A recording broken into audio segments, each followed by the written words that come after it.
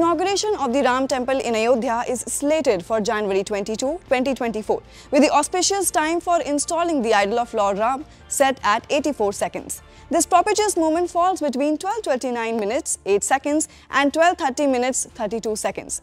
Following the installation of Ram Lalla, a grand Mahapuja and Mahaarti will take place. But why was January 22nd selected for the purpose? Well, astrologically, January 22 aligns with Kurma Dwadashi, a date dedicated to Lord Vishnu, who, according to legend, took the form of a turtle on this day to aid in the churning of the ocean.